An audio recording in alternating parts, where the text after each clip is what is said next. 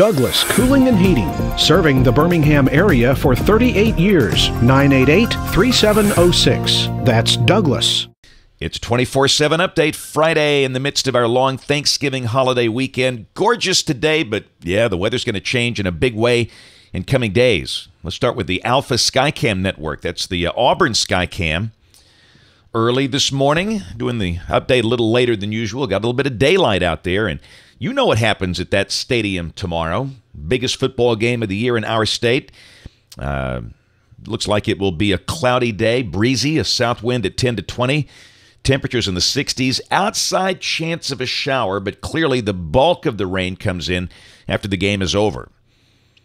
There's the Trussville Skycam. Goodness, we had fun watching that thing last night when that store opened at 10 o'clock last night for those sales. Wow. uh, follow my Twitter stream to see more about the madness of the shoppers and to look at downtown Fayette early this Friday morning, looking uh, north. All right, uh, got that big trough in the southwest United States moving this way, but one more nice day, and we're starting off the day pretty cold. Those were early morning temperatures at about 5 o'clock, and uh, uh, Gadsden below freezing. They dropped down to 30. Uh, Anniston and Alexander City with mid 30s, but a nice warm up today. We'll be in the upper 60s and around the nation. Temperatures, I would say, are seasonal early this morning. No extremely cold air, at least in the lower 48. There's our watch warning map. Not too many problems today.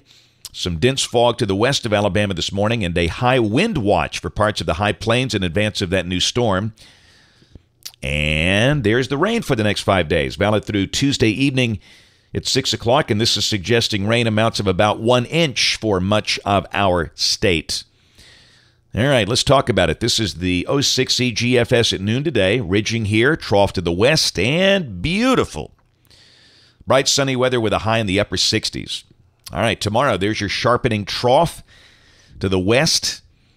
This is at noon tomorrow, and the surface low is located up around Milwaukee with the trailing front down into Arkansas. And uh, Again, that would suggest the day will be mostly dry, but again, in that kind of warm air advection pattern, you might see a shower or two forming. The bulk of that comes in here tomorrow night, and then Sunday, big old trough axis beginning to move through. This is at midday, and the GFS is slower now, and I think that's the right solution. It's got the rain exiting the state at midday Sunday and much colder air moving in. But we all know that model madness is the story here. This is a lower confidence forecast. Let's go to the RPM. This is the higher resolution model. This is Saturday at 4 o'clock in the afternoon. And uh, it's got the better rains around Memphis and not much happening here. So, you know, we're, we're fairly optimistic the Iron Bowl will not have any major issues. But again, you've got to mention some chance, just a small chance of a shower there in case something pops up, which it might. All right, this is after midnight tomorrow night. This is Sunday morning at 2 a.m. And that's when the most widespread rain should be coming through. This is 7 a.m. Sunday. Ooh, look at the blues up there. That's uh, snowed down into extreme northeast Alabama if the model is right, and that could very well happen. Uh, but again, you know, it's uh, no big deal if it does. And then by 2 o'clock Sunday afternoon, we're cold. Uh, the uh, 540 line, that black line, is down to Birmingham, and the rain is to the east. I think clouds will linger much of the day. I'm not so sure the sun comes out. It might, but I don't know. I'm sure not going to forecast that. And um, it's going to be a, a cold day. We could be in the 40s all day if the clouds hang tough. So the bulk of the rain coming in here tomorrow night, ending Sunday morning. Then we turn cold. Now Monday, the GFS is progressive. It's got the axis of the trough east of here. And uh, again, chances of snow flurries up around the Great Smokies, around Gatlinburg, and Monday here would be kind of, I don't know, cold, a mix of sun and clouds with a high around 50.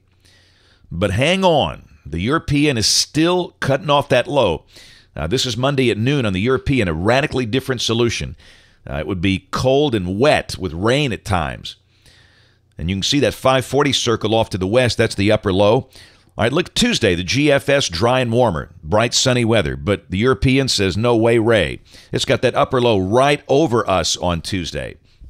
It'll be cloudy and cold maybe some sprinkles or flurries on Tuesday if this is right. So you get the GFS that's sunny and warmer, the European that's cloudy, cold, and maybe wet.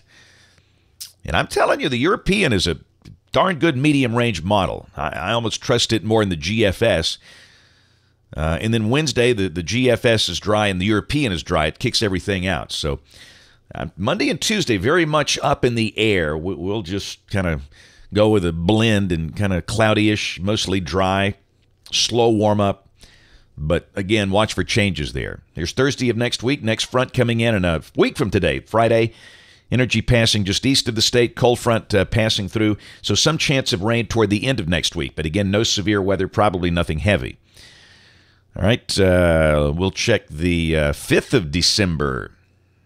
Interesting setup there. Got kind of a cold trough over the east, energy coming through the southern stream. And hey, now if this were January or February, that might be kind of icy, but it's not. It's early December. That just looks wet.